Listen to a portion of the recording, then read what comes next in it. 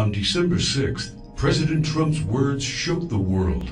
He recognized Jerusalem as the capital of Israel, and whether he knows it or not, fulfilled his part in a frightening biblical prophecy. Because according to the final chapters of the Bible, our country and every American citizen are about to face its greatest tribulation. Only the church leaders know the true meaning of this biblical prophecy that is encrypted in the writings of four ancient prophets, inspired to send a warning across the centuries to all true Christians and patriots.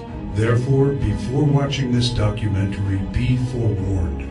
You are about to see how all the world's leaders and their armies are silently playing their part in the lead up to the greatest and darkest event in human history an event that may leave 290 million Americans dead in its wake.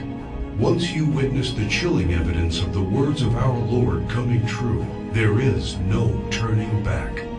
It will simply be impossible for you to go about your daily life like you used to before knowing the truth. But take comfort, for it is God's will that you are here now so that you may have the time to prepare and maybe grant you salvation from all the wickedness of our times. And if you're feeling skeptical right now, let me ask you one question. Who would have thought 70 years ago that the Jewish people would have a country to call their own? Only those who read Ezekiel chapter 37. That is what the prophet wrote 2,700 years ago. The hand of the Lord was on me and set me in the middle of a valley it was full of bones. Then he said to me, These bones are the people of Israel, my people. I will take the Israelites out of the nations where they have gone. I will gather them from all around and bring them back into their own land. I will make them one nation in the land on the mountains of Israel. Word by word, the prophecy made by Ezekiel came true. In 1947, the nation of Israel was born after the horror of the Holocaust, symbolized by the Valley of Bones. Scattered for more than 2,000 years, the Jewish people come from all over the world into this new state and made it an economic and military power. Yet, it was not whole. Israel needed Jerusalem to become its rightful capital again, and that only happened with the support of President Trump. However, to the north of Israel, other biblical prophecies have come true. The prophets Isaiah and Jeremiah write about this Syrian civil war. This is what the prophet Isaiah says. Damascus will no longer be a city, but will become a heap of ruins. And these are the words of Jeremiah. Damascus has become feeble. She has turned to flee, and panic has gripped her. Anguish and pain have seized her. Surely her young men will fall in the streets.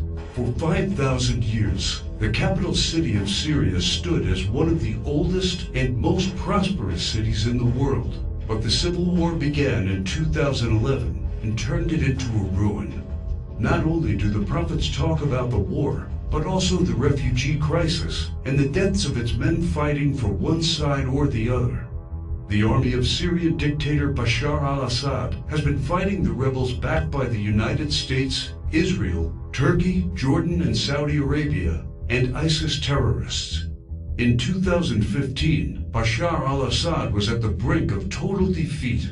Yet exactly at that time, another biblical prophecy was fulfilled. Ezekiel 38 tells of Russia coming to the border of Israel. The word of the Lord came to me. Son of man, set your face against Gog of the land of Magog.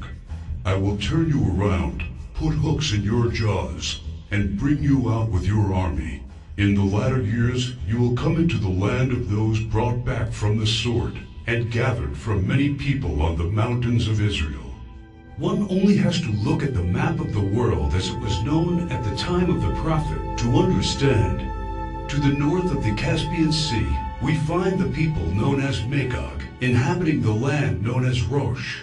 Over time, the ancient name of Rosh became current-day Russia. Twice, Ezekiel says that Magog will bring his armies from the extreme north to the border of Israel. None other than President Ronald Reagan, a devout Christian, said many times he truly believed Russia to be Magog according to Ezekiel. What about the word Gog? Bible scholars agree that the word Gog is not an actual name, but a title. He is the ruler of the land of Magog, like a king or a czar. Ezekiel clearly says that Russia will come to the mountains of Israel in the latter years. This happened in September 2015 and never before. For the first time in history, the Russian Army, Navy, and Air Force became involved in a war in the Middle East. According to Ezekiel, Magog's armies has several allies, Persia, Kush, and Gomer and Togarmah. Iran has been known as Persia for much of its history during the time of the prophets and beyond. Right now, Iranian troops are on the ground in Syria, fighting side by side with the Russians and the forces loyal to the regime of Bashar al-Assad. Put and Kush are the ancient names of Libya and Egypt. Egypt and Libya both suffered civil wars, and the new leadership is very friendly to the Russians. But the greatest surprise is the land known to Ezekiel as Gomer and Togarmah. The historian Flavius Josephus references Togarmah and Gomer as the people that lived on the territory of present-day Turkey. In fact, Turkish history books identify these tribes as living on their land at the time of the prophets. Three years ago, Turkey was a strong NATO ally, but everything changed after the failed coup attempt in 2016. Now, Turkey has become increasingly hostile to NATO and the United States. It forced NATO to remove forces from its bases. It's buying weapons from Russia.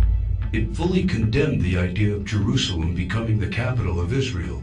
And in fact, right now, the Turkish army is in Syria, fighting to defeat the enemies of the Syrian dictator. The End Times Alliance, prophesied in the first verses of Ezekiel chapter 38, has already been formed. Never in the history of mankind has there been an alliance between Russia, Iran, and Turkey. Now, one final prophecy needs to be fulfilled before the start of World War III. We saw how Jeremiah predicted the destruction of Damascus in chapter 49. But there is one more thing he wrote about that has not happened yet. And I will kindle a fire in the wall of Damascus, and it shall consume the palaces of Ben-Hadad. Ben-Hadad is not an actual person, but a title. Just do one simple search online, and you will discover that Ben-Hadad is the ruler of Aram Damascus, while it is clear that Bashar al-Assad is the current ruler of Damascus, Aram is a region in Syria now known as Aleppo. The city of Aleppo was just recently recaptured by the regime of Syrian President Bashar al-Assad with the help of Iran and Russia. And Jeremiah says that soon his palace will be burning. How does this happen? Look no further than the headlines of recent months, and you see time and time again Israel calling for the assassination of the Syrian dictator. Isaiah also writes about the end of Syria's dictator. The fortified city will disappear from Ephraim and royal power from Damascus. This is the spark that ignites World War III. Ezekiel chapter 38 states that two-thirds of Israel will be destroyed in this coming war, and those left in the Holy Lands will face grief and pain and hardship. So what happens to the United States? Will we not help Israel at its darkest hour? To answer this question, we must first find the United States in biblical prophecy. John the Apostle in the book of Revelation and Jeremiah and Isaiah talk about another end times nation in their writings. A nation called Babylon, or Mystery Babylon. The name is deeply symbolic. Ancient Babylon was a city made great by people who came from all parts of the ancient world, just like immigrants helped make the United States the world's only superpower. And because the prophets didn't know of the existence of the North American continent at the time of the visions, they called it Mystery Babylon. Some say biblical Babylon refers to ancient Iraq. But if that is true, why do the prophets see it as a nation surrounded by waters? O thou that dwellest upon many waters, abundant in treasures, where all who had ships on the sea became rich through her wealth. While biblical Babylon has plentiful access to waters rich in resources, most of Iraq is a desert and has only a narrow stretch of coastline. Why do the prophets talk about pollution when in ancient Iraq there could be no such thing? Thou hast destroyed thy land. I have polluted mine inheritance, and have given them into thine hand. Babylon mounts up to heaven, and ascends above the heights of the clouds. These metaphors clearly reference a nation that has discovered flight it is obvious that Babylon, or Mystery Babylon, can't be ancient Iraq. But the prophets have more to say about this end times nation. Babylon is hailed as a queen among nations, the lady of kingdoms. According to the prophets, Babylon reigneth over the kings of the earth. It is the praise of the entire earth, and an astonishment among the nations. It is a place of great riches, and the merchants of the earth are waxed rich through the abundance of her delicacies. In fact, the prophets say clearly that should something happen to Babylon, all worldwide trade would stop. The merchants of the earth will weep and mourn over her, because no one buys their cargoes anymore. It is the number one military power, and it's called the hammer of the whole earth. Isaiah in verse 18, chapter 2, talks about how Babylon's beginning would be unique and awe-inspiring. America was created out of the former British colonies, a nation made out of many states just like the prophets foretold. Our ancestors were the first British colonists and we speak their language. That's the reason why Jeremiah sees England like a mother to the U.S., according to verse 50, chapter 12. More so, the prophets talk about the lion that is on the sigil of the mother of Babylon. England uses the lion as its royal symbol. The last crew the prophets left us is incredibly accurate. The scripture often refers to Babylon as a woman. According to the book of Revelations, she sits atop water and has a golden cup in her right hand and a crown of seven rays on her head. And the woman which thou sawest in that great city, which reigneth over the kings of the earth, the United Nations, in theory, reigns over all the kings of the earth, and is situated in New York, the great city where you can see the Statue of Liberty. The statue is the most well-known landmark in the U.S., and the symbol of Babylon the prophets are referring to in their clues. So why, then, are they also calling it the Whore of Babylon? The sculptor of the Statue of Liberty was Auguste Bartholdi, a Mason belonging to the Great Masonic Lodge in Paris. Before beginning the Statue of Liberty project, Bartholdi was seeking commission to construct a giant statue of the goddess Ishtar. The Romans also adopted this fertility goddess, but they changed the name to Libertas in Latin, Liberty in English. Libertas is the mythological equivalent of Ishtar. Therefore, the Statue of Liberty is in fact a statue of Ishtar, the Babylonian goddess of fertility, love, and sex. According to the ancient Babylonian rituals, one could only be purified of sin after intercourse with a temple priest or priestess of Ishtar. In return for this salvation, a gift offering was needed.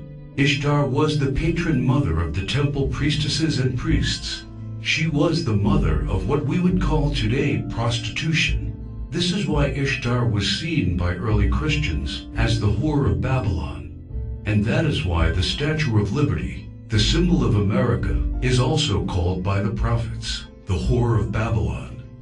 Do you think it is just a coincidence that the U.S., the home of the greatest and most famous statue of Ishtar, provides 65% of pornographic movies and adult entertainment to the world? Is it just another coincidence that this is the country where sexual liberation originated and spread to the rest of the world? It's not. It's just like the scriptures foretold. For all nations have drunk of the wine of the wrath of her fornication. The U.S. today has the most powerful economy and military, controls worldwide commerce, is proud and arrogant, has the most developed Air Force and space program, and it is the envy of the world.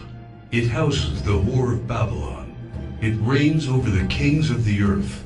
And unfortunately for every living American, It is Mystery Babylon. This is what the prophets say about the great enemy of Babylon. For out of the north there cometh up a nation against her, which shall make her land desolate. They come from a far country, from the end of heaven, and the weapons of his indignation to destroy the whole land. Remember which country the prophet said was from the north? The same country that Ezekiel said will lead a great alliance of nations to the borders of Israel? If war happens, the United States must be the first target. That is why the prophets foretell that at the start of this war, Russia will unexpectedly use a very special weapon, the weapon of indignation, against the whole territory of the U.S., a weapon like which the world has never seen. The Holy Book shows how Babylon will feel the fury of this terrible weapon. This weapon will hit our entire country and all our defenses will be in vain. Though Babylon should mount up to heaven, and though she should fortify the height of her strength, yet the spoilers come unto her. This weapon paralyzes our military and leaves it almost defenseless. How is the hammer of the whole earth cut asunder and broken? The mighty men of Babylon have forborne to fight, their might hath failed. The broad walls of Babylon shall be utterly broken, and her high gates shall be burned with fire. She hath given her hand, her foundations are fallen, her walls are thrown down, because the spoiler has come upon her, even upon Babylon. And her mighty men are taken, every one of their bows is broken. And after the attack, Babylon is left silent and in darkness. Sit thou silent, and get thee into darkness, for thou shalt no more be called the Lady of Kingdoms. All three prophets tell of the fall of Babylon, the destruction of the United States of America as we know it. This is not an event that happened to ancient Babylon in the past. History has never recorded the fall of a state or a city in the way described by the prophets. What weapon could silence an entire continent in one hour? The world has never seen one until a few years ago with the creation of the electromagnetic pulse, or EMP. Over and over, think tanks like the EMP Commission working for the Senate, have warned how this is the greatest and perhaps only real vulnerability of the United States. Yet no administration has done anything about it. We are completely unprepared for what's coming. Every report says the same thing. This event can wipe out 90% of Americans, and all it takes is just one warhead to be detonated above the United States to take us back to medieval times the lasting effects will destroy society as we know it, exactly as the scriptures predicted. Therefore shall her plagues come in one day, death and mourning and famine. Without hospitals or pharmacies being able to function, people won't be able to take their necessary medication. Without running water, heat, and garbage disposal, diseases will break out. As cars and trucks stop running, market shelves will become empty. Desperate people will become looters and there will be food riots. There will be no police, no law, no health care, no help. It will all descend into chaos and confusion. A complete collapse of everything we take for granted today. As the prophet Jeremiah says, And it shall be, when thou hast made an end of reading this book, that thou shalt bind it to a stone, and cast it into the midst of Euphrates. And thou shalt say, Thus shall Babylon sink, and shall not rise from the evil that it will bring upon her. And this is the start of the time of tribulation and sorrows. For then shall be a great tribulation, such as was not since the beginning of the world to this time, no, nor ever shall be. And yet, the prophet shows that there is still hope. But the ones who endures to the end will be saved. The message couldn't be any clearer.